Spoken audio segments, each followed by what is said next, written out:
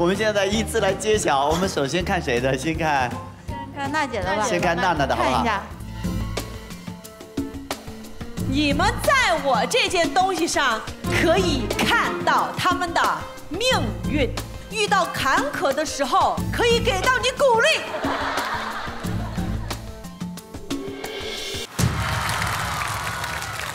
它是一个存钱罐，存钱罐。首先印证了我说的中华民族的传统美德，积蓄，对不对？就是储蓄、勤俭节约。节约，然后积少成多，积业成裘。这是第一。嗯嗯。第二，为什么他说他可以看到你的命运？当你把钱投进去以后啊，啊，你不知道什么时候可以取出来。哦，什么意思啊？就是哦，因为必须摇出三个一样的因为你必须要摇出三个一样的，你才可以取到钱。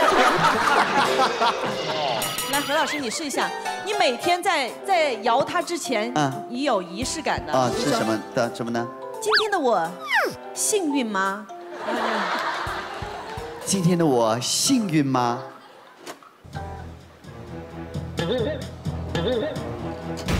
今天的我是不幸的我。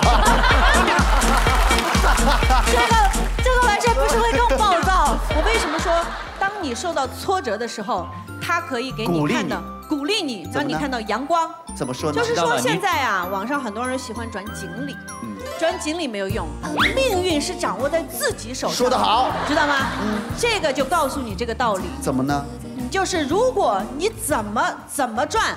你都赚不到一样的，怎么办呢？嗯我说了，命运掌握在你自己的手里。把它砸掉，砸了他。命运啊，命运！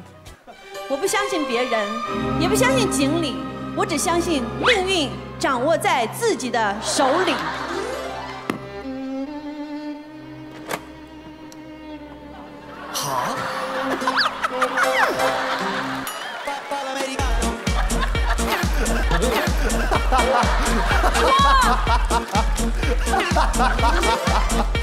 这个故事告诉我们，爱拼加爱牙。